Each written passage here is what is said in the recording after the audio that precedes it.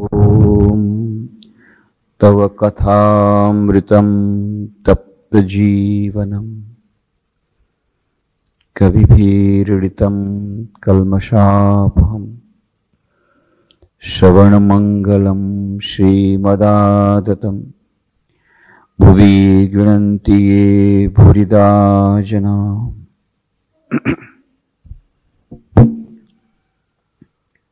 શ્રી રામકૃષ્ણ કથામૃત પર આપણે જે બસો ને પાંત્રીસ ચર્ચાઓ કરી, તેમાં આપણે જોયું કે કેવી રીતે શ્રી રામકૃષ્ણ દેવના સ્પર્શમાં માસ્ટર મહાશય મહેન્દ્રનાથ ગુપ્તમાં આવે છે આકસ્મિક રીતે અને કેવી રીતે તેમને નવું જીવન મળે છે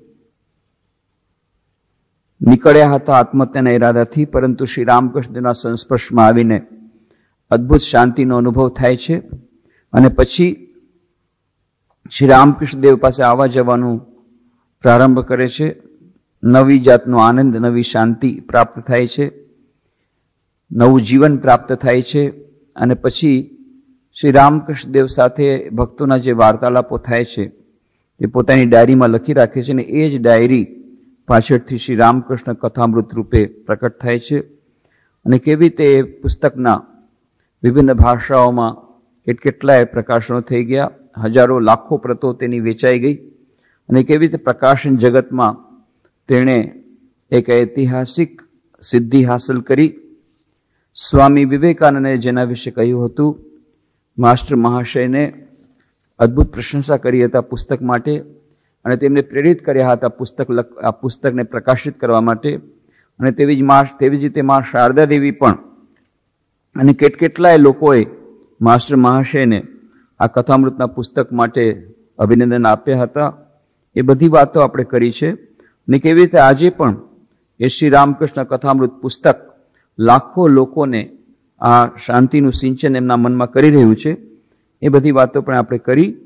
શ્રી રામકૃષ્ણ કથામૃતના પ્રથમ ભાગના ચૌદમા ખંડના ચોથા અધ્યાયની આપણે ચર્ચા કરી રહ્યા છીએ કે જ્યારે દક્ષિણેશ્વરમાં શ્રી રામકૃષ્ણ બેઠા છે પોતાના ઓરડામાં, બુધવાર છવ્વીસમી સપ્ટેમ્બર અઢારસો ત્ર્યાસી, ભાદરવા દશમ, બપોર પછીનો સમય. અને પછી શ્રી રામકૃષ્ણ દેવે બે પ્રકારના સાધકોની વાત કરી, બિલાડીના બચ્ચા જેવો સ્વભાવ અને વાંદરા બચ્ચા સ્વભાવ. અને શ્રી રામકૃષ્ણ કે, મારો તો બિલાડીના બચ્ચા જેવો સ્વભાવ. અને શ્રી રામકૃષ્ણદેવે કેવી રીતે પોતે પ્રાર્થના કરીને, જગદંબાને પ્રાર્થના કરીને આપણને શીખવાડે છે કેવી રીતે પ્રાર્થના આપણે કરવી જોઈએ. અને પછી નિરાકારવાદીનું પણ વાત થઈ કે શ્રી રામકૃષ્ણ કહે છે, કેશવચંદ્ર સેન અહીંયાથી ઘણું બધું શીખ્યા છે. અને પછી મહેન્દ્રને એટલે કે માસ્ટર માસ્ટરને પૂછે છે, તમારી શ્રદ્ધા શેમાં છે? તો નિરાકારમાં છે તો ઠીક છે, પણ એમ ના સમજવું કે નિરાકાર જ સાચું છે અને બાકી બધું ખોટું છે. શ્રી રામકૃષ્ણ કહે છે, તમે એક તો પકડ્યું છે ને નિરાકાર, મહેન્દ્ર, જી હા, પણ આપ જેમ કહો છો તેમ સર્વ કાંઈ સંભવે, સાકાર પણ સંભવે. શ્રી રામકૃષ્ણ કહે, તે મજાનું. અને જાણજો કે પરમાત્મા ચૈતન્ય રૂપે ચરાચર વિશ્વમાં વ્યાપ્ત થઈ રહ્યા છે. અને આપણે આ વાત કરી હતી કે શ્રી રામકૃષ્ણ દેવના દર્શનનું આ એક વિશેષ બિંદુ છે કે જ્યાં શ્રી રામકૃષ્ણ દેવ સર્વભૂતોમાં સર્વ સમસ્ત જગતમાં જે ચૈતન્ય તત્વ ઓતપ્રોત થઈને રહેલું છે એની વાત કરે છે. માત્ર આત્મ સાક્ષાત્કારની વાત નથી કરતા. પણ સર્વભૂતોમાં નારાયણ દર્શન. સર્વ સર્વ સમસ્ત વિશ્વમાં એ જ પરમ તત્વ વિરાજમાન છે. એની અનુભૂતિને સર્વોત્તમ અનુભૂતિ એમ ગણે છે. શ્રી રામકૃષ્ણ કહે છે, હમણાં એ ભાવે જ રહો. તાણી તુષીને ભાવ બદલવાની જરૂર નથી. ધીમે ધીમે આગળ ઉપર સમજશો કે આ ચૈતન્ય એ પરમાત્માનું જ ચૈતન્ય. એ પોતે જ ચૈતન્ય સ્વરૂપ. વારું, પૈસા ટકા ઐશ્વર્ય વગેરે ઉપર તમને આકર્ષણ છે કે? મહેન્દ્ર, ના, પણ નિશ્ચિંત થવા પૂરતું છે. નિશ્ચિંત થઈને ઈશ્વર ચિંતન કરવા માટે. શ્રી રામકૃષ્ણ, એ તો હોય જ. એમાં શું? મહેન્દ્ર કહે છે, લોભ નથી. શ્રી રામકૃષ્ણ, હા, એ બરાબર. નહીતર પછી તમારા છોકરાઓને કોણ સંભાળે? તમને જો હું જવાબદાર નહીં એવું જ્ઞાન થાય, તો તમારા છોકરાઓની વ્યવસ્થા શી થાય? મહેન્દ્ર સાંભળ્યું છે કે કર્તવ્યભાન હોય, ત્યાં સુધી જ્ઞાન થાય નહીં. શ્રી રામકૃષ્ણ, હમણાં એ ભાવમાં રહો, ત્યાર પછી કર્તવ્ય કર્તવ્યભાન એને મેળે નીકળી જાય ત્યારે જુદી વાત. આ શ્રી રામકૃષ્ણ દેવનો ગૃહસ્થો માટેનો ખૂબ જ મહત્વનો સંદેશ છે કે શ્રી રામકૃષ્ણ પૂછે છે, પૈસા ટકા ઐશ્વર્ય વગેરે ઉપર તમને આકર્ષણ છે કે નહીં? મહેન્દ્ર કહે છે, ના, પણ નિશ્ચિંત થવા પૂરતું છે. નિશ્ચિંત થઈને ઈશ્વર ચિંતન કરવા માટે, એટલે કે થોડુંક પૈસા ટકા કમાઈ લઉં, જેથી કે બેરી છોકરાનું ભરણ પોષણ થાય, એવી જાતની ભાવના ખરી. શ્રી રામકૃષ્ણ, એમાં કંઈ વાંધો નહીં, પણ લોભ ન હોવો જોઈએ. મોટા ભાગના લોકોમાં લોભ હોય છે કે પૈસા એટલા તો કમાઈ લીધા કે જેથી ખાવા પીવાની રહેવાની વ્યવસ્થા થઈ જશે. પણ થાય છે કે હજી કમાઈ લઉં હજી મોટર ગાડી બનાવી લઉં હજી બંગલા બનાવી લઉં હજી બેંકમાં ડિપોઝિટ વધારી દઉં. એ લોભ કોઈ રીતે અટકતો જ નથી. એ લોભ જો હોય તો ખોટું નથી. લોભ હોય તો ખોટું નથી. પણ શ્રી રામકૃષ્ણ કહે છે, જો તમારે ઈશ્વરમાં આગળ વધવું હોય, આ લાઈનમાં આવવું હોય, આધ્યાત્મિક લાઈનમાં આગળ વધવું હોય, ઈશ્વર પ્રાપ્તિ કરવી હોય, તો પૈસા પ્રત્યે આસક્તિ હશે, કોઈ પણ વસ્તુ પ્રત્યે આસક્તિ હશે. તો પછી તમે આગળ નહીં વધી શકો. તો કર્તવ્ય પાલન માટે, કારણ કે સ્ત્રી, પુત્ર, બાળકો, સંતાન, એનો ભરણ પોષણની જવાબદારી છે ગૃહસ્થની. એટલે એને પૈસો કમાવવું અત્યંત જરૂરી છે. એમાં કોઈ જાતનો વાંધો શ્રી રામકૃષ્ણ કાઢતા નથી. અવશ્ય કમાવો. પરંતુ લોભ રાખોમાં જેટલી જરૂર છે, એટલું કમાવો. પરંતુ આપણું અત્યારે જે અત્યારે સમાજની જે વ્યવસ્થા થઈ ગઈ છે, એમાં એવું થઈ ગયું છે કે સ્ટેન્ડર્ડ ઓફ લિવિંગ એ વધી ગયું. બીજું શું છે કે કન્ઝ્યુમરિઝમ આવી ગયું, ઉપભોક્તાવાદ આવી ગયો. ત્રીજું શું થઈ ગયું છે કે આખી સોસાયટીમાં જે સમાજમાં મૂલ્યો આખા બદલાઈ રહ્યા છે. હવે માણસ કેવો છે એ લોકો જોતા જ નથી કે આ માણસ કેવો છે. એ એટલું જ જુએ છે એની પાસે શું શું છે. દીકરી દેવી હોય કોઈ ઘરમાં, તો એમ નહીં પૂછે કે ખાનદાન છે કે નહીં, વધારે નહીં જુએ. કેટલો પૈસો છે? કેટલી ગાડી? કેટલી મોટર? કેવો બંગલો? બાહ્ય સુખ સામગ્રી જ જોઈએ છે. કમાણી કેટલી છે? ઉપરની કેટલી નહીં ઓફિશિયલમાં તો કંઈ ખાસ વળે નહીં, એમાં કેટલાક હોય. પણ ઓપરની કમાણી કેટલી છે? ટેબલની નીચેની કમાણી કેટલી? કાળું ધન કેટલું છે એની પાસે? આ પેલા જાણવા માગે છે. જે છોકરીવાળા છે, પક્ષવાળા, એ જાણવા માગે છે છોકરામાં. છોકરાવાળા પણ એમ જ જાણવા માગે છે કે કેટલું દઈ શકશે? ઠીક છે અમારે કાંઈ વધારે કાંઈ જોતું નથી. અમારે કંઈ વધારે જોતું નથી. બસ તમે પાંચ લાખ રૂપિયા આપી દેજો ઉપરાંત. અને પછી આ તો બધું તમે આપવાના જ છો. ઘર વખરીનું સામાન, એ બધું મારે કેવું નહીં પડે મારે. અને ઘરેણા તો તમે આપશો તમારી દીકરીને આપો છો તે વધારે નહીં. હવે આપણે અમારે બંગલો લેવો પડે તો દસ લાખનો બંગલો. તમારે બંગલાની જ કોસ્ટ આપણે તમે બંગલો લેવા માટે દસ લાખ આપી દેજો. બાકી મોટર ગાડી તો એની સાથે તમે આપશો જ. એમાં કંઈ વાંધો નથી. આ બધું પહેલેથી જ કહી નાખે. એવી રીતે કે લોભ. આ લોભ ખરાબ વસ્તુ છે. અને સ્ટેન્ડર્ડ ઓફ લિવિંગ એટલી બધી વધી ગયું. એટલા માટે એકબીજાના ચડસા ચડસી કે આણે લગ્નમાં કે દસ લાખ ખર્ચો અને હું પાંચ લાખ કરું તો મારું નાક કપાઈ જાય. મારે તો કમસે કમ અગિયાર લાખ તો કરવા પડે. એક લાખ તો વધારે કરવો પડે ખર્ચો. એણે જે કર્યું, એણે એણે ચારસો રૂપિયાની થાળી આપી. મારે પાંચસો રૂપિયાની થાળી આપવી પડે. નહીં તો મારું કેવી રીતે મારું સન્માન રહે નહીં આખા સમાજમાં મારું મોભો શું રહે? આ જે ચડસા ચડસી છે, બાકી બધા સમાજ માટે ઠીક છે. પણ જે લોકો આધ્યાત્મિક સાધકો છે, જેમને હવે ખબર પડી ગઈ છે કે મારા જીવનનો ઉદ્દેશ ઈશ્વર પ્રાપ્તિ છે, ભગવત પ્રાપ્તિ છે તો પછી એમાંથી વિરત થવું પડશે. તો પછી એમાંથી વિરત થવું પડશે. અને હવે લાઈન બદલવી પડશે. ઠીક છે. જ્યાં સુધી જેટલું નિશ્ચિંત થાય, થઈ જવા માટે જેટલું કમાવાનું છે, એટલું અવશ્ય કમાવો પણ પછી બાકીની જે એનર્જી અને ટાઈમ, જે આપણી પાસે એનર્જી છે, બહુ ઓછી છે એનર્જી છે. આપણી પાસે જે શક્તિ છે, એ બહુ ઓછી છે. સમય પણ બહુ ઓછો છે. અને એ આખો ને આખો સમય અને આખી ને આખી જે શક્તિ એ આપણે આમાં વાળી દેશું ફક્ત પૈસા કમાવામાં, તો પછી આપણા મુખ્ય જીવનનો ઉદ્દેશ્યથી આપણે ભટકી જઈશું. એટલે શ્રી રામકૃષ્ણ કહે છે, એ બરાબર, નહીતર પછી તમારા છોકરાઓને લોભ નથી. એ માસ્ટર માસ્ટર પોતે કે છે, મારો લોભ નથી. તો એ બહુ સારું છે. લોભ જો હશે, તો તમે ડૂબી જશો. તો પછી સંસારમાં તમે તરી નહીં શકો, સંસારમાં ઈશ્વરની પ્રાપ્તિ નહીં થઈ શકે. લોભ નથી, બરાબર છે. નહીતર પછી તમારા છોકરાઓને કોણ સંભાળે? તમને જો હું જવાબદાર નહીં એવું જ્ઞાન થાય, તો તમારા છોકરાઓની વ્યવસ્થા શી થાય? એટલે આ જે જવાબદારીનું તમને ભાન છે, એ સારી વસ્તુ છે. પણ હવે માસ્ટર માસે બીજો પોઈન્ટ ઉપાડે છે, મુદ્દો. સાંભળ્યું છે કે કર્તવ્ય ભાન હોય, ત્યાં સુધી જ્ઞાન થાય નહીં. એનું શું કરવું? અત્યારે કર્તવ્ય જ્ઞાન છે. તો કર્તવ્ય જ્ઞાન રહેવું સારું કે નહીં? શ્રી રામકૃષ્ણ કહે છે, જ્યાં સુધી છે, ત્યાં સુધી સારું. એને તમે બળજબરીથી દૂર ન કરો.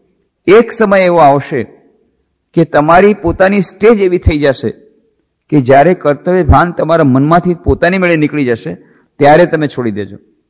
ગુમડું કાચું હોય અને તમે એને કાપો, મૂકો તો બહુ દુખે. પણ ગુમડું પાકી જાય જરાક દબાવો એટલે પસ નીકળી જાય. એવી જ રીતે આ કર્તવ્ય ભાન જ્યાં સુધી છે, ત્યાં સુધી જો તમે કર્તવ્યને છોડવાનો પ્રયત્ન કરો, તો મનમાં દુઃખ થાય. પણ એક સ્ટેજ એવી આવી જાય, ભગવાનની ભક્તિ કરતા કરતા કરતા પછી કર્તવ્ય જ્ઞાન રહે નહીં. સાચું જ્ઞાન જ્યારે આવે અથવા સાચી ભક્તિ આવે, તો બસ. પછી સતત સ્મરણ જ્યારે ભગવાનનું થાય સતતમ કીર્તયંતોમાં એ જો અવસ્થા થઈ જાય, તો પછી શું થાય? યોગક્ષેમમ વહામ્યમ. તેષામ નિત્યાભિયુક્તાનામ યોગક્ષેમમ વહામ્યમ. એ પછી એને, એનું પછી કર્તવ્ય કાંઈ રહેતું નથી. જે સતત કીર્તન કરે છે, જે સતત ભગવાનનું નામ લે છે, અથવા જેને જ્ઞાન થઈ ગયું છે, પછી એનું કર્તવ્ય કરવાનું રહેતું નથી. કારણ, કેમ?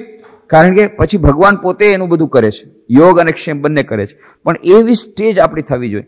એવી સ્ટેજ જ્યાં સુધી નથી થઈ, એવી સ્થિતિ નથી થઈ મનની, કે પૂર્ણ જ્ઞાન કે પૂર્ણ ભક્તિ નથી આવી, ત્યાં સુધી કર્તવ્ય પાલન, કર્તવ્ય જ્ઞાન, કર્તવ્ય ભાન છે, ત્યાં સુધી કર્તવ્ય પાલન અવશ્ય કરવું જોઈએ.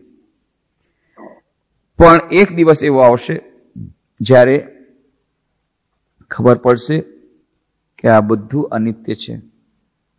અને ખરેખર જ્યારે એવી અનુભૂતિ થશે, ત્યાર પછી એમ લાગશે કે મારે શું એક જ માતા છે? શું મારે એક જ પિતા છે? મારે શું એક જ ભાઈ છે? મારે શું એક જ બેન છે? મારે શું આટલા જ બાળકો છે? આખો ભગવાનનો સંસાર મારો સંસાર છે અને ભગવાન આખો જોવાવાળો છે. હું કોણ? એ ખરેખર એવી જાતની પ્રતીતિને થાય કે હું એજન્ટ નથી કામ કરવાવાળો. ઈશ્વર જ બધું કરે છે અને ઈશ્વર જ બધું કરાવે છે.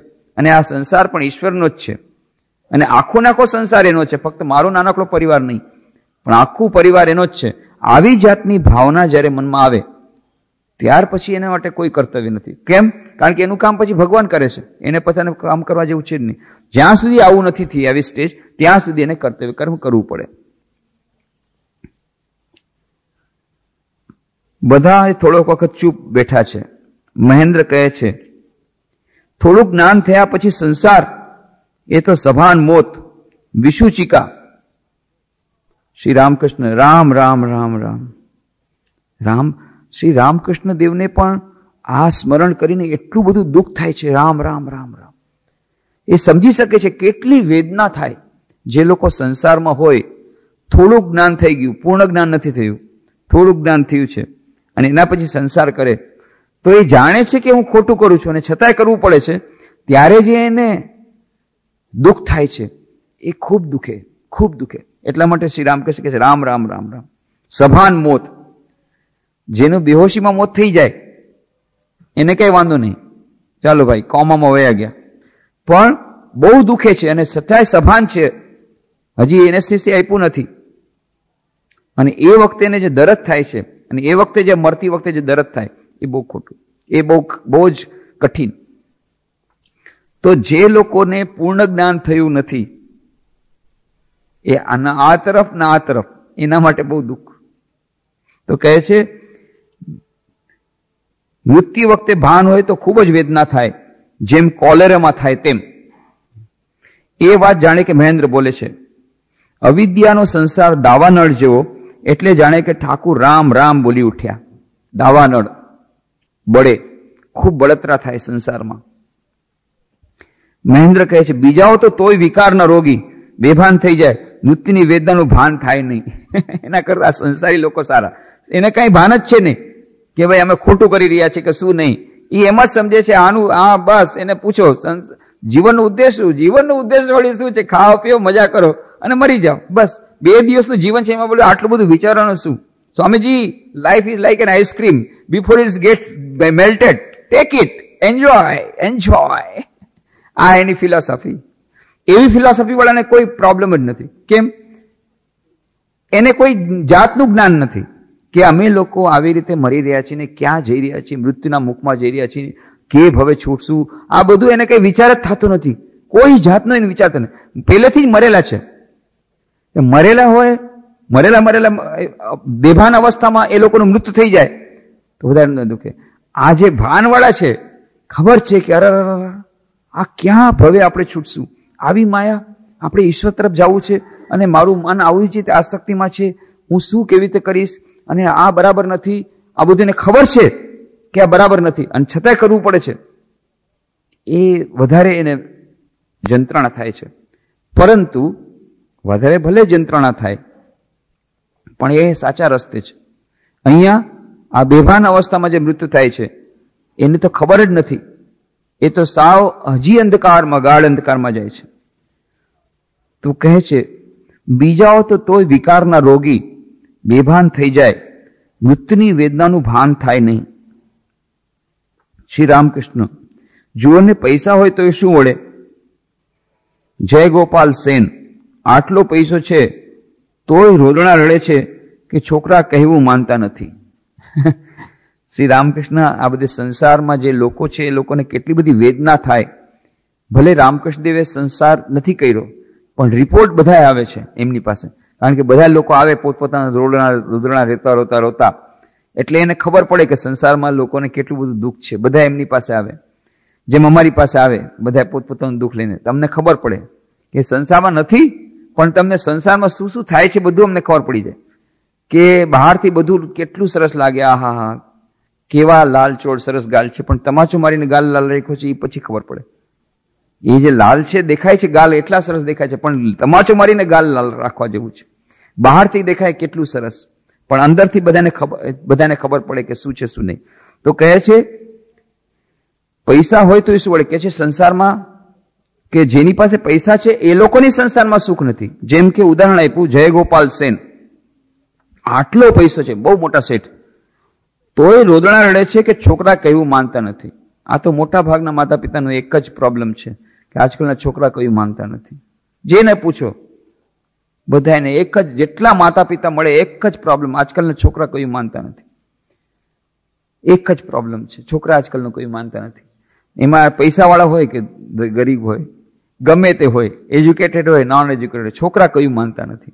આ એક જ પ્રોબ્લેમ છે. આજના જમાનામાં તો હજી વધારે ઉઠી ત્યારના વખતમાં હતો રામકૃષ્ણ દેવને સો વર્ષ પહેલાની આપણે વાત કરીએ છીએ, અઢારસો ત્ર્યાસીની વાત કરી છે ત્યારે પણ આ જ પ્રોબ્લેમ હતો. કે પૈસાવાળાના, ખાસ કરીને પૈસાવાળાના છોકરા તો આડી જ લાઈનમાં હોય, એમ સમજી લેવાનું. કે આડો પૈસો હોય, એ આડી લાઈનમાં જ લઈ જાય છોકરાઓને. આટલો બધો પૈસા આવે. અત્યારે તો બધી જગ્યાએ જેટલા પૈસાવાળા છે, બધા આડી લાઈનમાં છે. આજના જમાનામાં. ત્યારના જમાનામાં આવું જ હતું. આટલો પૈસો છે તોય રોદણા રડે છે કે છોકરા કયું માનતા એટલે સંસારમાં કેટલા બધા દુઃખ છે એની વાત શ્રી રામકૃષ્ણ કરે છે. મહેન્દ્ર કે સંસારમાં શું એટલું ગરીબાઈનું જ દુઃખ છે? તમે કહે છો એની પાસે પૈસા છે એને એમ જેમ રામકૃષ્ણ કહેવા માંગે જો આની પાસે પૈસા છે તોય આને દુઃખ છે. એનો અર્થ છે કે ગરીબાઈનું એક જ દુઃખ છે સંસારમાં? અરે, કેટલા જાતના દુઃખ છે. ઘણા લોકો દુઃખી એટલા માટે છે કે ગરીબ છે. પણ પૈસાવાળા તો એના કરતા વધારે દુઃખી છે. જેને પૈસા છે એ દુઃખી છે, જેને પૈસા નથી એ દુઃખી છે. બધાએ દુઃખી છે. સંસારમાં શું એકલું ગરીબાઈનું જ દુઃખ? આ છ રીપુ, ત્યાર પછી રોગ, શોક, કેટલા પ્રકારના દરદ છે. સંસારમાં રહો તો કેટલા પ્રકારના દુઃખ? એટલે જ કહે છે, કોઈ તન દુઃખી, કોઈ મન દુઃખી કોઈ ધન હેતુ, રહત ઉદાસ, થોડે થોડે સબ સુખી, સબ દુઃખી, સુખી રામ કા દાસ. કોઈ તન દુખી, કોઈ મન દુખી, કોઈ ધન હેતુ, રહત ઉદાસ, થોડે થોડે સબ દુખી, સુખી રામ કા દાસ. બધા સંસારમાં બધા દુખી છે. તો કોઈ તન દુખી છે? બ્લડ પ્રેશર વધી ગયું, હાઈ બ્લડ પ્રેશર, કે કોઈને ગોઠણમાં તકલીફ, કોઈને પેટમાં તકલીફ અને હાર્ટ પ્રોબ્લેમ કેટલી જાતના દર્દો, હજારો હજારો જાતના દર્દો છે. અને રોજના સેંકડો દર્દો નવા નવા ડોક્ટર લોકો ગોતી કાઢે છે. એવા રોગ જેનું નામે નહીં સાંભળ્યું હોય, એવા રોગ બધા નામ આપે છે કે આને આ રોગ થઈ ગયો. કોઈ દિવસ પહેલા રોગ હતો જ નહીં, આ દુનિયામાં નહોતો.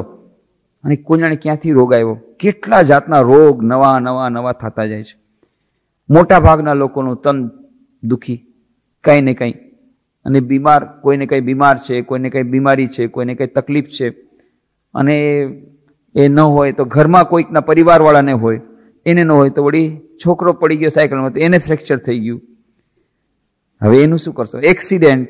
કોઈને ગોઠામાં લાગ્યું, કોઈને માથામાં લાગ્યું, કાંઈ એક્સિડન્ટ થાય, કાં તન, તનના કેટલા બધા, કાં પોતાનું લાગે, કાં બાળકોને લાગે, કાં પરિવારજનોને લાગે, કેટલા બધા જાતના રોગ અને પછી શોક.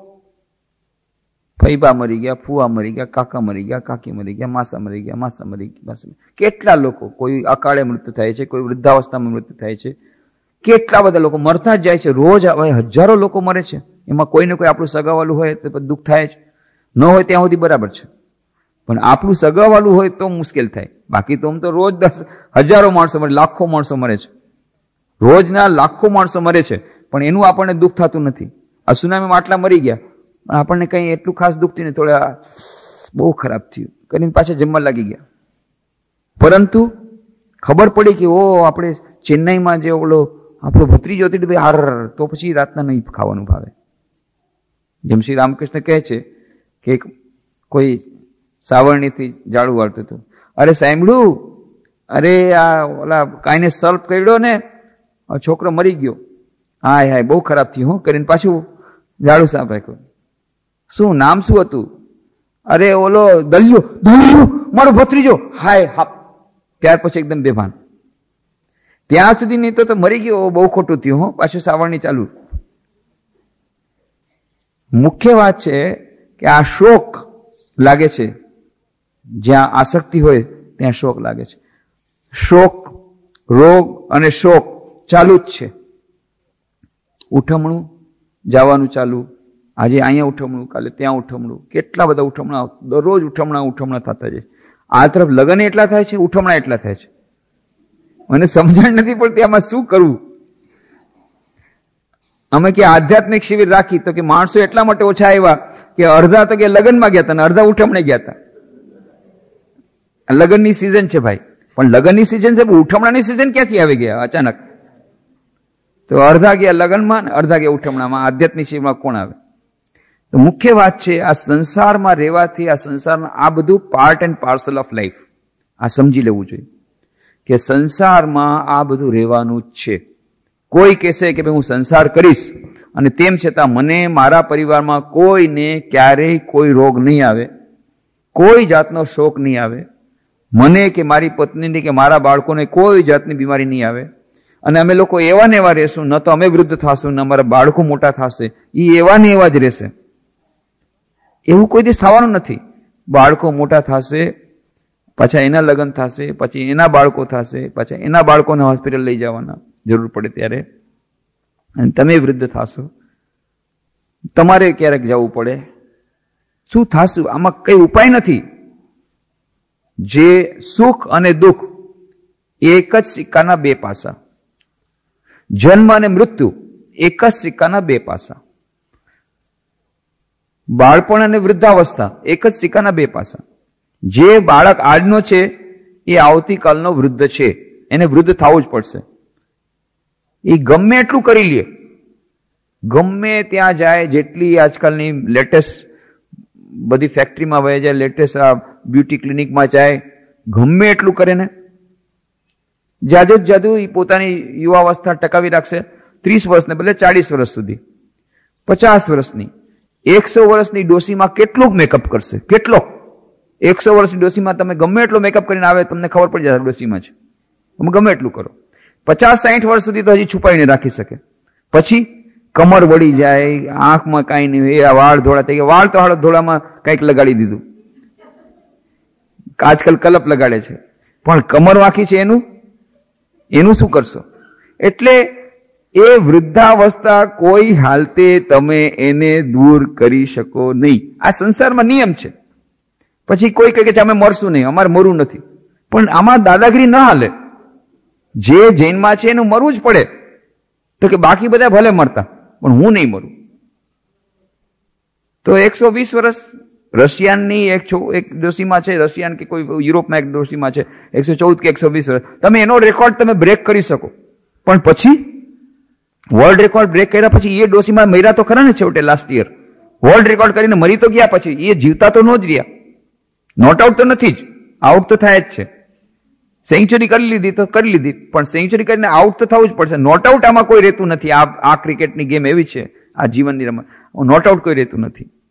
એટલે આ સંસારનો નિયમ જ છે, સંસારમાં શું એકલું ગરીબાઈનું દુઃખ, આ બીજા છ રીપુ, ત્યાર પછી રોગ, શોક, આ સંસારમાં કેટલું બધું દુઃખ લાગેલું જ છે.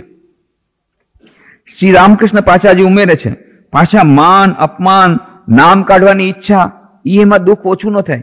મોટા ભાગના લોકોનું દુઃખ આમાં જ છે. લ્યો, મને ન બોલાવ્યો. બસ કંકોત્રી મોકલાવી દીધી પોસ્ટમાં. હું નહીં જાઉં. ના. હું ન જાઉં. હું કરો એને લગ્નમાં જાઉં. બાકી બધા એને પોતે પર્સનલી ગયા મળવા માટે કંકોત્રી. અને મને ફક્ત પોસ્ટમાં કંકોત્રીમાં હું નહીં જાઉં. પછી આવીને પગે પડે કે અમારી ભૂલ થઈ ગઈ હતી. આવો તમારા વગર અમારું નહીં ચાલે. તો પછી હું જાઉં. આજે માન અપમાન એટલું બધું હોય છે. એમાં ને એમાં પછી દસ દિવસ પહેલા મને કેમ આમ કહી દીધું? કેમ આવો શબ્દ વાપરો? કેમ આમ બીધું કીધું?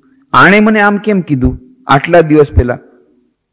દસ દિવસ, પણ એ તો દસ દિવસ પહેલાની વાત છે. એના પછી તો કેટલા સારા શબ્દો કીધા? ઈ નહીં, ઈ બધે. દસ દિવસ પહેલા આમ કેમ કીધું? દસ દિવસ પહેલા. ઈ એક જ શબ્દ એને પકડી રાખ્યો. આના પછી કેટલા સારા સારા શબ્દો કીધા? ભાઈ, તમારી પત્નીએ, તમારા ભત્રીજા ઈ નહીં. ઈ દિવસે, તે દિવસે રાતના અગિયાર વાગે હું કે એમ કેમ કીધું એને આજે માન, અપમાન, ઈગો, એટલું બધો અહંકાર આપણો હોય છે. એ જરાકમાં એટલું બધું લાગી જાય છે. કે પછી એને તકલીફ થાય છે. ચાલે છે. કેટલા વખત સુધી દરજ ચાલે છે? કેમ? અહંકાર. અહંકાર જેટલો વધારે હશે, એટલું વધારે દરદ થશે. એટલું વધારે દરદ થશે.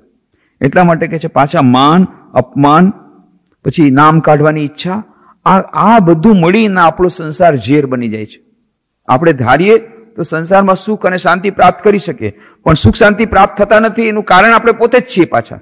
બીજા કોઈ નથી. મોટા ભાગનું કારણ આપણે પોતે આપણો પોતાનો અહંકાર, આપણી પોતાની મહેચ્છા, આપણી પોતાની આસક્તિ, આપણી પોતાની જે અણસમજ, કે ના, મને કોઈ દિવસ વૃદ્ધાવસ્થા આવશે નહીં, મને કોઈ દિવસ જીવનમાં દુઃખ આવશે નહીં, મારા કોઈ સગાવાલા કોઈ દિવસ મળશે નહીં, મારા સગાવાલાને કે મને કોઈ દિવસ કંઈ નડશે નહીં, આ જાતનું આપણે એઝમ્પશન કરી લઈએ છીએ કે બાકી બધા ભલે કરે, પણ મને કાંઈ નહીં થાય. અને પછી આ માન, અપમાન, ઈગો સ્વાર્થ, અહંકાર, આ બધું મળી આપણે પોતે આપણું જીવન નરક બનાવીએ છીએ, દુઃખી બનાવીએ છીએ. વારું મારો ભાવ કેવો? શ્રી રામકૃષ્ણ પૂછે છે.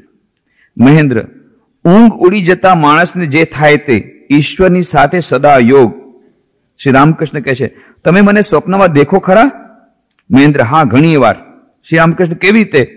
કઈ ઉપદેશ દેતા દેખો મહેન્દ્ર ચૂપ રહ્યા છે શ્રી રામકૃષ્ણ જો મને ઉપદેશ દેતા દેખો તો જાણજો કે એ સચ્ચિદાનંદ શ્રી રામકૃષ્ણ પોતાનું સ્વરૂપ પ્રકટ કરે છે કે જો તમે મને જુઓ કે હું તમને કંઈ સ્વપ્નમાં માર્ગદર્શન આપું છું તો હું નથી આપતો એ સચ્ચિદાનંદ જ આપે છે ઈશ્વર જ એટલે કે હું અને ઈશ્વર અભિન્ન આ આટકતરી રીતે એમણે સ્વીકાર કર્યું ત્યાર પછી મહેન્દ્રે સ્વપ્નમાં જે જે જોયું હતું એ બધાનું વર્ણન કર્યું.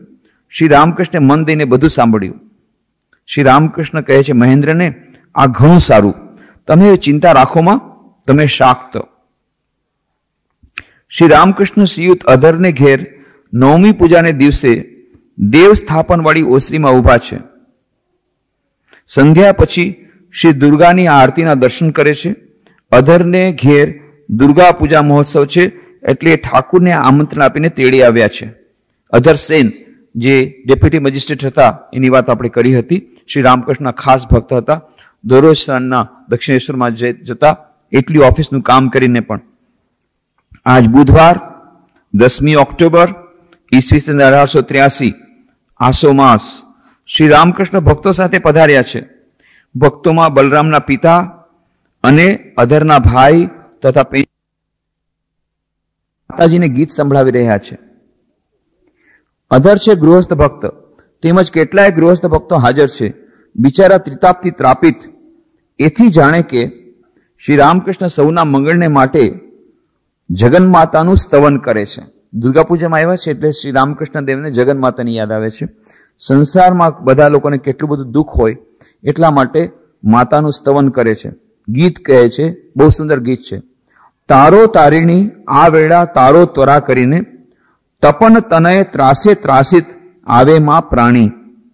જગત અંબે જનપાલિની, જનમોહિની, જગત જનની, યશોદા જઠરે જન્મ લઈને સહાય હરિલીલામાય વૃંદાવનમાં રાધા વિનોદિની, વ્રજવલ્લભ વિહારકારિણી, રાસ રંગીની રસમય થઈ, રાસ કર્યું લીલા પ્રકાશ ગિરિજા, ગોપજા, ગોવિંદ મોહની, તમે માં ગંગા ગતિદાયિની, ગાંધર્વીને ગૌરવણી ગાય ગોલોકમાં ગુણ તવ શિવે સનાતની સર્વાણી ઈશાની, સદાનંદમયી સર્વસ્વરૂપિણી, સગુણા, નિર્ગુણા, સદાશિવ પ્રિયે, કોણ જાણી શકે મહિમા તવ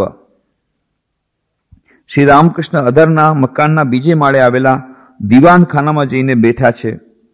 ઓરડામાં કેટલીય આમંત્રિત વ્યક્તિઓ આવેલી છે. બલરામના પિતા અને શારદા બાબુ વગેરે પાસે જ બેઠેલા છે. બલરામ, આપણે જાણીએ છીએ બલરામ બોસ શ્રી રામકૃષ્ણ ખાસ ભક્ત હતા, એમના પિતાજી આવ્યા છે. અને શારદા બાબુ, એ જેમ વાત કરી, અધરના ભાઈ એ શારદા બાબુ, પેન્શનર હતા. એટલે કે રિટાયર્ડ થઈ રિટાયર્ડ થઈ ગયા છે. એમને કોઈ રિલેટિવ એમના ગુજરી ગયા છે, એટલે બહુ દુખી છે એટલા માટે અધરે એમને બોલાવ્યા છે કે શ્રી રામકૃષ્ણની વાણી સાંભળીને કાંઈક શાંતિ વણ મળે. ઠાકુર હજી ભાવમગ્ન. આમંત્રિત વ્યક્તિઓને સંબોધન કરીને બોલે છે, અરે બાબુઓ, મેં ખાધું છે. હવે તમે લોકો પ્રસાદ લો. અધરના નૈવેદ્ય પૂજા માએ સ્વીકાર્યા છે. એટલે શું શ્રી રામકૃષ્ણ જગન માતાના આવેશમાં બોલે છે કે, મેં ખાધું છે. હવે તમે લોકો પ્રસાદ લો. શ્રી રામકૃષ્ણ દેવને જગન માતાનો આવેશ આવતો. એટલે કે જાણે એ જગન માતાના આવેશમાં શ્રી રામકૃષ્ણ બોલ્યા, મેં લઈ લીધું ખાધું, હવે તમે લોકો પ્રસાદ લ્યો. બધા ભક્તોને કહે છે. ઠાકુર ભાવમગ્ન થઈને જગન માતાને કહે છે, માં, હું ખાઉં કે તમે ખાશો? માં, કારણાનંદ રૂપિણી, શ્રી રામકૃષ્ણ શું જગન્માતાને શ્રી રામકૃષ્ણ શું જગન્માતાને અને પોતાને એક જુએ છે. જેમાં તે શું સંતાન રૂપે લોકોપદેશ કરવાને માટે અવતર્યા છે. એટલે શું ઠાકુર મેં ખાધું છે એમ કહે છે. કોણ કહી શકે? પરંતુ માસ્ટર મહાશયને આવો પ્રશ્ન પૂછીને જાણે કે આપણી સમક્ષ આપણી શ્રદ્ધા જેવી હોય એવી રીતે સ્વીકાર કરીએ. પરંતુ માસ્ટર મહાશયની પોતાની શ્રદ્ધા કે જાણે કે સાક્ષાત જગદંબા જ એ રામકૃષ્ણ રૂપે પ્રધાર્યા છે. હવે ઠાકુર ભાવ આવેશમાં દેહની અંદર ષટચક્રો તથા તેની અંદર માતાજીને દેખી રહ્યા છે. એટલે વળી ભાવમાં મગ્ન થઈને ગીત ગાય છે. ગીત બહુ સુંદર ગીત છે. ભુવન ભૂલાય ભૂલાવ્યુંમાં હરમોહિની, મૂલાધાર મોહત્પલે, વીણાવાદ્ય વિનોદિની. આધારે ભૈરવ રાગ ષડદલે શ્રી રાગ ગાય, મણિપુરમાં મલ્હાર વસંત હૃત પ્રકાશિની આ બધા રાગના નામ છે, જે લોકો સંગીત જાણે છે, ખબર છે. વિશુદ્ધ હિન્ડોલ સુરે, કર્ણાટક આજ્ઞાપુરે તાન લય માન સુરે, ત્રિસપ્ત સુર ભેદિની મહામાયા મોહ પાશે, બદ્ધ કરો અનાયાસે તત્વ લઈ તત્વાકાશે, સ્થિર છો ઓ સૌદામિની. શ્રી નંદકુમાર કહે, તત્વના નિશ્ચય થાય, તવ તત્વ ગુણત્રય, કાકી મુખ આચ્છાદિની. અભયાના શરણાગત થયે સર્વભય જાય, એટલે જાણે કે ભક્તોને અભય આપે છે અને ગીત ગાય છે. અભય પદે પ્રાણ સોંપ્યા છે વગેરે. બહુ સુંદર ગીત છે. અભય પદે પ્રાણ સોંપે છી. આમી આર કી જમેર ભોય રેખે છી. બંગાળીમાં ગીત છે રામપ્રસાદનું. અભય પદે પ્રાણ સોંપે છી. અભય પદે પ્રાણ સોંપ્યા છે. હવે મારે યમરાજનું બીક છે નહીં? કોઈની બીક નહીં. માના ચરણમાં મેં શરણાગતિનો સ્વીકાર કરી લીધો. જગદંબા અનંત શક્તિવાળી જગદંબા મારી સાથે છે. કોણ મારું કંઈ બગાડી શકશે? કોઈની હિંમત છે મારી પાસે આવે? મેં મા જગદંબાની શરણ લીધી છે. અભય પદે પ્રાણ સોંપે છે. અભય પદે મેં પ્રાણ સોંપી દીધા મારા. અભય પદ જગદંબાના પગમાં. આમી આરકી જોમેર ભય રેખે છે. હવે મને યમરાજનો પણ ભય નથી. કેમ? માના ચરણમાં મેં ચરણ, શરણ લીધી છે. એવા સુંદર સુંદર ભજનો છે. અહીંયા ઓછા જ આપ્યા છે. ગુજરાતીમાં, બંગાળીમાં ઘણા બધા ભજનો શ્રી રામકૃષ્ણ ગાયા હતા. એ બધા આપ્યા છે. એ બંગાળી ઓરિજિનલ બંગાળી ગીત ન સાંભળો તો એનું મીઠાશ, એની ખબર નહીં પડે. જેમ કે કહે છે, તારા તારીણી એવાર તારો ત્વરિત કરીએ. તપન તને ત્રાસે ત્રાસિતે જાય મા પ્રાણી. જગત અંબે જનપાલિની, જનમોહિની, જગત જનની. યશોદા જઠરે જન્મ લઈએ, સહાય હરી લીલાય. વૃંદાવને રાધા વિનોદિની. બ્રજવલ્લભ વિહારકારિણી રાસ રંગીની રસમયી હોય રાસ કરીલે લીલા પ્રકાશ ગિરિજા, ગોપજા, ગોવિંદ મોહિની, તુમીમાં ગંગે ગતિદાયિની, ગાંધાર વિકે ગૌરવરણી ગાઓ ગોલક ગુણે તોમાર. શિવે સનાતની સર્વાણી, ઈશાની સદાનંદમયી સર્વસ્વરૂપિણી, સગુણા નિર્ગુણા સદાશિવ પ્રિય, કે જાને મહિમા તોમાર. આપણે એનું ગુજરાતી સંભળાયું હતું, વાંચ્યું હતું.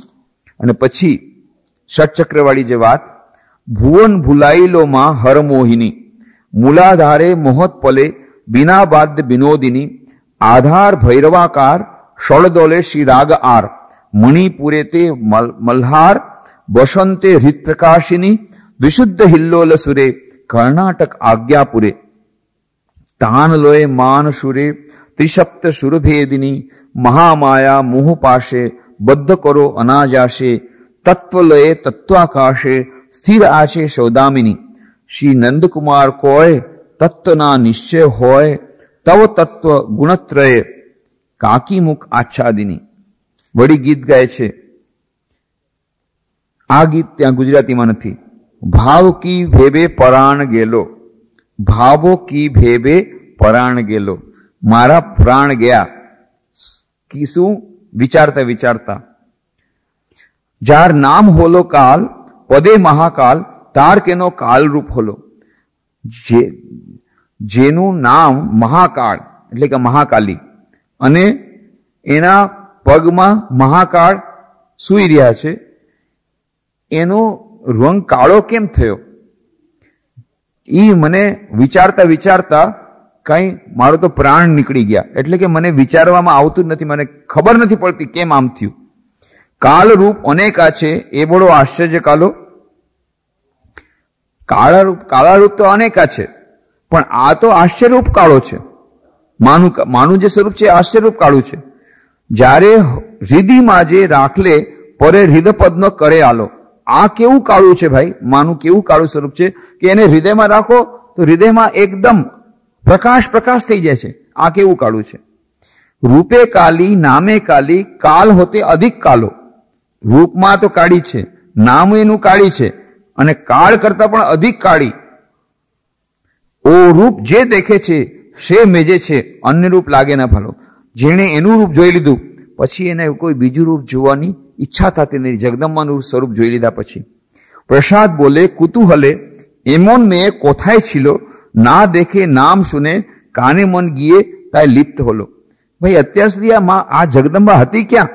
આ છો, આ કન્યા હતી ક્યાં? ખબર નથી પડતી કે ના દેખે નામ સુને, કાને મન ગીએ, તાય લિપ્ત હોલો.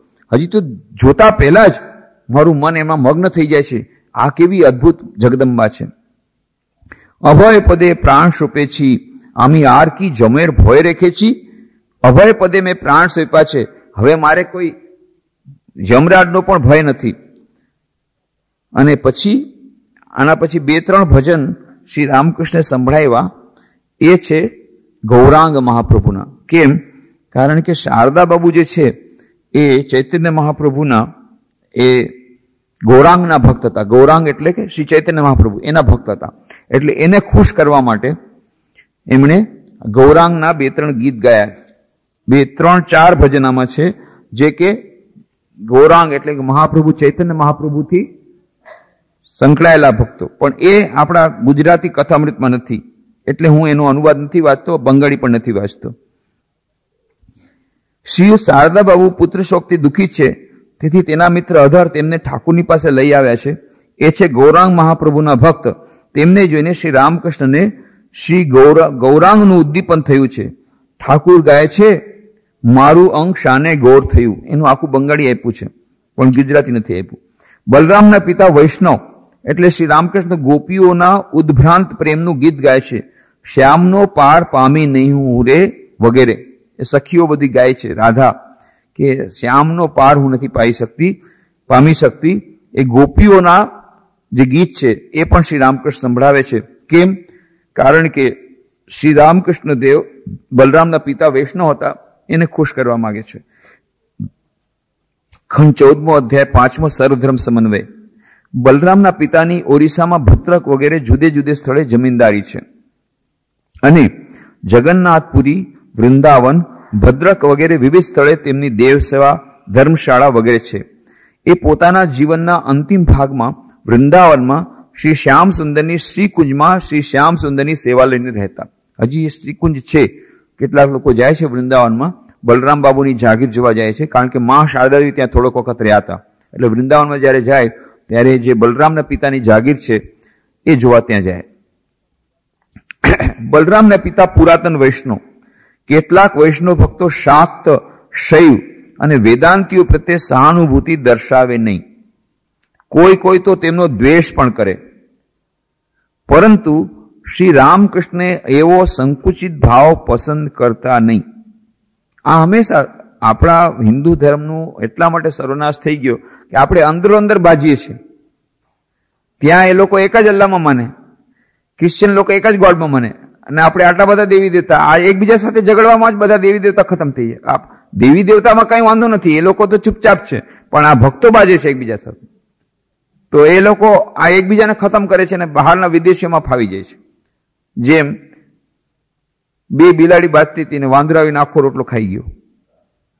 એવી રીતે આ એકબીજામાં દ્વેષ આપણે કરીએ. શાક્ત એ શું કહે છે કે અમારી જગદંબા જ મુખ્ય છે. અને વૈષ્ણવ શૈવ શું કે છે? શૈવ લોકો, ના ના, શિવજી જ સાચા. તો વૈષ્ણવ શું કે છે? અરે, એ બધું જવા દો અમારા કૃષ્ણ જ સાચા. અમારા વિષ્ણુ ભગવાન સાચા, અમારા કૃષ્ણ જ સાચા. એ સૌથી મોટા છે. અરે અમારા કૃષ્ણ ભગવાન તો આખા ભવસાગરને પાર કરાવી દે, એવા કૃષ્ણ ભગવાન અમારા. તો જે શાક્ત લોકો શું કે, હા એ તો અમને ખબર છે એ તો અમારી જગદંબાએ નોકર તરીકે રાખ્યા છે. જેમ નાવિકને રાખે ને એને એને પગારમાં એને જ રાખ્યો છે કે, એ કૃષ્ણ તમારા કનૈયાને નોકરીમાં રાખ્યો છે, અમારી જગદંબા અમારી જગદંબા છે, એ મહેશ્વરી છે સામ્રાજ્ઞી છે, રાજ રાજેશ્વરી છે એ કઈ થોડી પોતે પાર કરાવે. જે રાજ રાજેશ્વરી રાણી હોય એ કઈ પોતે પાર કરાવે? એ તો એને નાવિકને રાખી દીધો, તમારા કનૈયા, તમારા કૃષ્ણ કનૈયાને રાખ્યો છે નોકરીમાં. એ પાર કરાવી જાય છે ભવસાગર હોળીમાં. બાકી નોકરીમાં એ એને રાખ્યો છે. અમારી જગદંબા સૌથી મોટી. તમારો તો એ તો અમારો નોકરદાર, અમારે રાણીનો. આ એકબીજા પ્રત્યે આવી દ્વેષ બુદ્ધિ પણ શ્રી રામકૃષ્ણ એવો સંકુચિત ભાવ પસંદ કરતા નહીં. એ કહેતા કે અંતરની આતુરતા હોય તો સર્વ મતો સર્વ માર્ગો દ્વારા ઈશ્વરને પામી શકાય. કેટલાક વૈષ્ણવ ભક્તો બહારથી માળા, ગ્રંથ પાઠ વગેરે કરે. પરંતુ ભગવાનની પ્રાપ્તિ માટે તેમનામાં આતુરતા નહીં. એટલે ઠાકુર જાણે કે બલરામના પિતાને ઉપદેશ આપે છે. શ્રી રામકૃષ્ણ માસ્ટરને કહે છે, મને થયું કે શું કામ એક એકાદેશિયા થવું?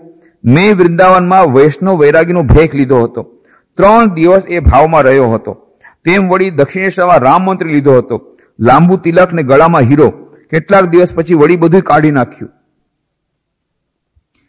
એક માણસની પાસે એક રંગનું કુંડું હતું. માણસો તેની પાસે કપડાં રંગાવવા આવતા. એ કુંડમાં રંગ ઓગાળેલો હતો. પરંતુ નવાઈ જેવું એ કે જેને જેવા રંગે કપડું રંગવું હોય, તેવા રંગનું એક જ કુંડામાંથી બોલવાથી થઈ જતું. એક જણે જોઈને આશ્ચર્યચકિત થઈ ગયો અને રગવાણાને કે, ભાઈ, મારે તો તું જે રંગે રંગાયેલો છે એ રંગ જોઈએ છે. કે આ કેવું કુંડું? કે કે મારે લાલ જોઈએ છે એમાં નાખે, લાલ કપડું આપી દે. તો કે મારે તો બ્લુ જોઈએ. તો કે એમાં એ કુંડામાં નાખે, તો બ્લુ કપડું મળી જાય. કે તારો પોતાનો શું રંગ છે એ મને આપ. કે જેનાથી મને ગમે તે રંગ, ગમે ત્યારે હું બદલાવી શકું. એટલે તું મને તારો રંગ આપ. તારો પોતાનો શું રંગ છે મને આપ. એમ કે છે ભક્ત. તો શું ઠાકુર કહી રહ્યા છે કે સરળ ધર્મના લોકો તેની પાસે આવવાના અને ચૈતન્ય જાગૃતિ મેળવવાના કહેવાનો અર્થ શું છે? મુસલમાન આવે છે, શ્રી રામકૃષ્ણ પાસે પ્રેરણા મેળવે છે. ક્રિશ્ચન આવે છે, એને પણ પ્રેરણા મળે છે. રામ ભગવાનના ભક્ત આવે છે, એને શ્રી રામકૃષ્ણ દેવ રામચરિત માણસ સંભળાવે છે. કૃષ્ણ ભગવાનના ભક્ત આવે છે, એને શ્રી રામકૃષ્ણ દેવ વૃંદાવનની લીલા સંભળાવે છે. ચૈતન્ય મહાપ્રભુના ભક્તોને ચૈતન્ય મહાપ્રભુના ગીત સંભળાવે છે. જેને જે જોતું હોય એ રંગ આપી દે છે પોતાના કુંડાળામાંથી. એટલે એમના પોતાનામાં કારણ એ શા માટે કરી શકે છે? કારણ કે એમણે બધા ધર્મની સાધના કરી હતી. બધા ધર્મનું થોડું થોડું જ્ઞાન એમને હતું. અને બધા ધર્મની સાધના કરીને જોઈ લીધું કે બધા એક જ પરમ સત્ય તરફ લઈ જાય છે. એટલે એમની પાસે જે છે, જે કુંડુ, એ કુંડામાં એવો સુંદર રંગ છે કે એમાં તમને જે જુઓ એ રંગ મળી જાય. એટલા માટે કેટલાક લોકો રામકૃષ્ણ પાસે એટલા માટે જાય કે અહીંયા બહુ મજાનું. તમારે એક ગાયું નથી. કે બસ એકનું જ નહીં. જેમ શ્રી રામકૃષ્ણ પોતે કહે છે, કેટલાક લોકો સા, એટલે સા સા જ વગાડ્યા કરે. ના, સારે ગમ પધની સા, સપ્તમ સુર તમે કરો, તો જરા મજા આવે. એક જ એક પો કરીને રહી દઉં, તો એ પોમાં મજા ન આવે. એક જ પો, એક જ ગીત નહીં. શ્રી રામકૃષ્ણ કહે છે, હું વારં હું તો ઘણી બધું વગાડું. સારે ગમ પધની સા, સાત સુર છે. ગમે તે રામ વગાડી વગાડીને વિભિન્ન પ્રકારના રાગીણી, રાગ રાગીણી કરું. તો એમાં જરા મજા આવે. એક જ પો કરવાથી મજા ના આવે. એવી રીતે શ્રી રામકૃષ્ણ કહે છે કે બધાયની મજા એમણે લીધી છે અને બધાયનો અર્ક લઈ લીધો છે. શું ઠાકુર કહી રહ્યા છે કે સર્વધર્મના લોકો તેમની પાસે આવવાના અને ચૈતન્ય જાગૃતિ મેળવવાના? શ્રી રામકૃષ્ણ વળી કહે છે, એક ઝાડ ઉપર એક કાકીડો હતો. એક માણસે તેને જોયો તો તે લીલો હતો. બીજા એક માણસે જોયો તો એ કાળો. ત્રીજા જોયો એ પીળો. એ રીતે કેટલાય લોકો તેને જુદા જુદા રંગોમાં જોઈને ચાલ્યા ગયા. તેઓ એકબીજાને કહેવા લાગ્યા એ જીવ લીલો છે, લાલ છે, પીળો છે અને આપસ આપસમાં ઝઘડો કરવા લાગ્યા. એ જોઈને ત્યાં ઝાડ નીચે એક માણસ બેઠો હતો. તે ઉઠીને ત્યાં ગયો અને કહ્યું, ભાઈઓ, હું આ ઝાડ નીચે રાત દિવસ રહું છું. મને ખબર છે કે જીવ કાકીડો છે. એક ક્ષણે ક્ષણે રંગ બદલે અને ક્યારેક તો તેનો કશોય રંગ હોય નહીં. કાકીડો જોયો હોય તો ક્યારેક ક્યારેક દેખાય છે કાકીડો એ રંગ બદલે. તો કે જેણે ત્યારે બ્લુ જોયો કે મેં તો બ્લુ જોયો? આ કે મેં પીળો જોયો? અરે ભાઈ, તમે સુકરા બાજો છે એ એક જ છે. તમારી વાત સાચી ને તમારી વાત સાચી. એ પોતે રંગ બદલે છે અને ક્યારેક તો સાવ રંગ એનો હોતો નથી. એવી રીતે ઈશ્વર ક્યારેક કૃષ્ણનું રૂપ ધારણ કરે, તમે સાચા. ઈશ્વર રામનું રૂપ ધારણ કરે, તમે સાચા. ઈશ્વર અલ્લાહનું રૂપ ધારણ કરે, તમે સાચા. ઈશ્વર ગોડનું રૂપ ધારણ કરે, તમે સાચા. તમે બધા સાચા ક્યારેક ક્યારેક નિર્ગુણ નિરાકાર થઈ જાય છે. કોઈ રૂપ જ નથી હોતું. તો શું બાજુ છો. એ જ ઈશ્વર છે. આ ઉપરથી શ્રી રામકૃષ્ણ એમ કહી રહ્યા છે કે ઈશ્વર સગુણ અને અનેક જુદા જુદા રૂપ ધારણ કરે, તેમ પાછળ નિર્ગુણ, તેનો કશોય રંગની વાણી મનથી પર નમો નમો પ્રભુ વાક્ય મનાતીત મનોવચન એકાધાર. શ્રી રામકૃષ્ણ આરતીમાં સ્વામી વિવેકાનંદે એ કહી નાખ્યું, નમો નમો પ્રભુ વાક્ય મનાતીત, વાક્ય અને મનથી અતીત છે એ પરબ્રહ્મ પરમાત્મા શ્રી રામકૃષ્ણ. મન વચન કંઈક આધાર. પરંતુ મન અને વચનના પાછા એક આધાર છે. અને પોતે ભક્તિયોગ જ્ઞાન યોગ સર્વ માર્ગોથી જઈને ઈશ્વરના નામ માધુરસનું પાન કરે છે. આ ઉપરથી શ્રી રામકૃષ્ણ એમ કહી રહ્યા છે કે ઈશ્વર સગુણ અને અનેક જુદા જુદા રૂપ ધારણ કરે. તેમ પાસે નિર્ગુણ, તેનો કશય નહીં, વાણીમંતી પર અને પોતે ભક્તિયોગ જ્ઞાન યોગ સર્વ માર્ગોથી જઈને ઈશ્વરના માધુર રસનું પાન કરે છે એમ શું કહેવા માગે છે? શ્રી રામકૃષ્ણ. આમ માસ્ટર મહાશય આ પ્રશ્ન પૂછે છે. શ્રી રામકૃષ્ણ બલરામના પિતાને, પુસ્તક વધારે વાંચો નહીં, પરંતુ ભક્તિશાસ્ત્ર વાંચો, જેમ કે શ્રી ચૈતન્ય ચરિતામૃત. કેમ પુસ્તક વાંચન ના પડે છે? ઘણી વાર પુસ્તકો વાંચીને બદહજમી થઈ જાય. ઘણા લોકો મારી પાસે આવે. એવી જાત જાતની આર્ગ્યુમેન્ટ કરે કે પછી એના આખો ટાઈમ એના પાસે ચાર કલાક વેસ્ટ કરો તો એ કઈ થાય નહીં. કારણ કે આખું ભૂસું ભરાઈ ગયું છે. એ ભૂસું કાઢતા કેટલાય કલાકો, દિવસો, વર્ષો લાગી જાય. બધું ભૂસું ભર્યું છે. ક્યાં, ક્યાંથી પુસ્તકો વાંચ્યા છે? જેણે પોતે આત્મ સાક્ષાત્કાર નથી કર્યો, એના પુસ્તકો વાંચે અધકચરા. અને પછી એ અધકચ, એ જે લખવાવાળો અધકચરો, એમાંથી એણે પુસ્તક અડધું વાંચ્યું હોય. અડધામાંથી એણે પાછું અડધું ગ્રહણ કર્યું હોય. એમાં પાછું બીજું કંઈક મેળવું હોય. મેળવીને પોતાની બુદ્ધિમાં નાખી હોય. એનો વઘાર કર્યો હોય. એ વઘાર કરીને કંઈક એવી ખરાબ ખીચડી બનાવે. સાવ દાજી ગયેલી. કે તમે કોઈ હિસાબે ખાઈ ન શકો. અને પછી પોતે માને કે મારા જેવું ડાયું કોઈ નહીં, એટલે પાછું તમને સમજાવવા આવે કે હું જે કહું છું એ સાચું. અને તમે આ ગ્રહણ કરો. કેમ? મેં બસો પુસ્તક વાંચ્યા છે. એટલે તમે ગ્રહણ કરો, કારણ તમે બસો નથી વાંચ્યા. પાછા આપણને સમજાવે. આ મુશ્કેલ આ છે, આ બધા જ બી થઈ જાય. એટલે શ્રી રામકૃષ્ણ કહે છે, ભાઈ, પુસ્તક વધારે વાંચવાનું છોડો. હા, ભક્તિશાસ્ત્રના પુસ્તકો જેનાથી ભક્તિ વધે. આપણે જીવનનો ઉદ્દેશ્ય ભક્તિ વધારવી. પણ કેટલાક પુસ્તકો તમારી જે નાનકડી ભક્તિ હશે એ ખતમ કરી નાખશે. એટલે જે લોકોએ આત્મ સાક્ષાત્કાર કર્યું હોય, એ લોકોના જ પુસ્તકો વાંચવા. આધ્યાત્મિક સાધકો માટે છે. જે તમારે સંસારમાં તમે, બીજા લોકો તમે, વિદ્વાનો, તમારી હિસ્ટ્રી જ્યોગ્રાફીની વાત એ નથી ચાલતી. પણ જે લોકો સાધકો રીતે આગળ વધવા માગે છે, એ લોકોએ પછી આડાઓળા પુસ્તકો વાંચવાનું બંધ કરી અને એક પોતાની લાઈન પકડી અને એમાં જ આગળ વધવું જોઈએ. પછી એમાં ટાઈમ વેસ્ટ ન કરવો જોઈએ. અને ખાસ કરીને રામકૃષ્ણદેવ સ્વામી વિવેકાનંદને પણ કીધું હતું, એક નિયમ યાદ રાખવાનો કે જેટલા પુસ્તક વાંચ્યા વાંચવાના, પણ જેને આત્મ પોતાને નથી થયો, એના પુસ્તક નહીં વાંચવાના, સાધક અવસ્થામાં. પછી એક અવસ્થા આવી જ્યારે તમને જ્ઞાન થઈ ગયું, પછી તમે ઇન્ફોર્મેશન માટે, બીજાને સમજાવવા માટે, બીજું શું છે, કમ્પેરિઝન માટે, એ તમે પછી પુસ્તકો વાંચો, તો તમારી ભક્તિની હાનિ નહીં થાય, તમારી સાધનામાં હાનિ નહીં થાય. પણ સાધક અવસ્થામાં હજી છોડ આપણો નાનકડો છે, ત્યારે જો તમે ખુલ્લું મૂકી દો તો ગાય બકરા ચરીને ખતમ કરી નાખે. પણ આપણે એમ માનીએ છીએ કે મારું તો બહુ મોટું ઝાડ થઈ ગયું છે. જ્ઞાનનું ઝાડ બહુ મોટું છે. એમાં કાંઈ થાય એમ નથી. પણ ખરેખર આપણું ઝાડ બહુ નાનું છે. અને એટલા માટે થઈને આપણે ભક્તિનું ઝાડ, જ્ઞાનનું ઝાડ બહુ નાનું છે. એટલે આપણે બહુ સાવધાન રહેવું જોઈએ કેવા જાતના પુસ્તકો આપણે વાંચીએ છીએ. પુસ્તકો અવશ્ય વાંચવા જોઈએ. પણ એવા પુસ્તકો વાંચો જેનાથી આપણી ભક્તિ વધે, આપણું જ્ઞાન વધે, સાચું જ્ઞાન વધે અને આપણું મન કન્ફ્યુઝન નહીં થઈ જાય. કેટલા પુસ્તકો આપણું મન કન્ફ્યુઝ કરી નાખે. એકદમ આપણા જે થોડીક જે શ્રદ્ધાઓ એ ખતમ કરી નાખે, ઉડાડી નાખે. કારણ કે જે લેખક હોય, એને પોતાને કોઈ અનુભૂતિ થઈ નથી. એ પોતે રસ્તો ભટકી ગયો છે અને પાછો બીજા આપણને સમજાવે. અંધે નૈવ નિયમાના યથાંધા. ઉપનિષદમાં કીધું, એક આંધળો બીજાના આંધળે દોરે તો શું થાય? એની વાત છે. એટલા માટે શ્રી રામકૃષ્ણ કહે છે, પુસ્તક વધારે વાંચો નહીં, પરંતુ ભક્તિશાસ્ત્ર વાંચો. જેમ કે શ્રી ચૈતન્ય ચરિતામૃત. વાત એટલી કે ઈશ્વરને ચાહવો, તેની મધુરતાનો સ્વાદ લેવો. ઈશ્વર રસ, ભક્ત રસિક, એ ઈશ્વરરૂપી રસનું પાન કરે. ઈશ્વર કમળ, ભક્ત મધમાખી. ભક્ત કમળનું મધ પીએ. ભક્ત જેમ ભગવાન ન હોય તો રહી શકે નહીં, તેમ ભગવાન પણ ભક્ત ન હોય તો રહી શકે નહીં. ત્યાર પછી ભક્ત થાય રસ, ભગવાન થાય રસિક. ભક્ત થાય પદ્મ, ભગવાન થાય મધમાખી. એ પોતાનું જ માધુર ચાખવાને માટે બે રૂપ થયેલ છે. એટલા માટે જ રાધા કૃષ્ણ લીલા. કેવી અદ્ભુત વાત શ્રી રામકૃષ્ણ કહે છે કે ફક્ત ભગવાન જ કમળનું ફૂલ નથી થતા. ક્યારેક ભગવાન કમળનું ફૂલ થાય અને ભક્ત મધમાખી થાય અને મધમાખી ભક્ત ભગવાનનું અમૃત ગ્રહણ કરે. પણ ક્યારેક ભક્ત ફૂલ થાય અને ભગવાન પોતે મધમાખી થઈ અને ભક્તની આસ્વાદન લે. એટલે જેમ ભક્ત ભગવાન વગર રહી શકે નહીં, એમ ભક્ત વગર ભગવાન રહી શકે નહીં. કેવી અદ્ભુત વાત. અને એનું સાક્ષાત ઉદાહરણ શ્રી રામકૃષ્ણ પોતે. શ્રી રામકૃષ્ણ ભક્ત વગર રહી શકતા નથી. સાક્ષાત ભગવાન ઉપર કુઠીબાડીમાં, મથુરબાબુના બંગલામાં ઉપર જઈ જોર જોરથી રડે રડીને કહે છે, ક્યાં છે ભક્તો? આવો આવો આવો. તમારા વગર હું રહી શકતો નથી. આ સંસારી લોકો સાથે વાતો કરી કરીને મારા, મારું આખું દિલ બળી ગયું. હું આકુળ વ્યાકુળ થઈ ગયો. આવો રે ભક્ત, આવો. તમે ક્યાં છો? તમારા વગર રહી શકતો નથી. વ્યાકુળ થઈ ગયા છે શ્રી રામકૃષ્ણ.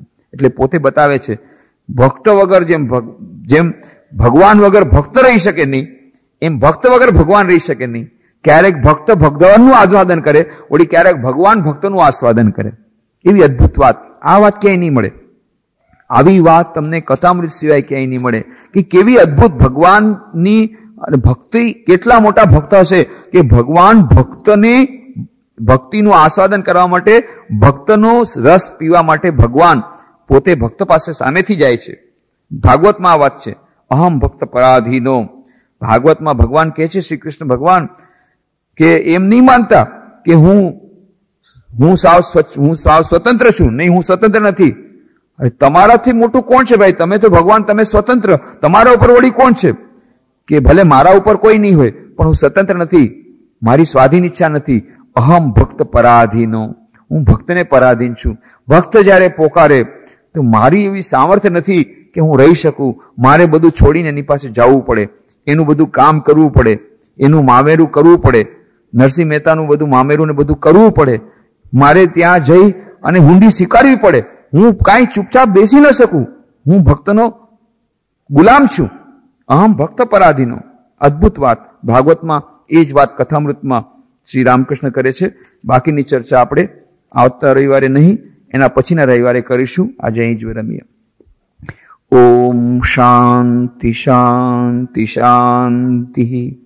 हरिः ॐ तत्सत्। श्रीराम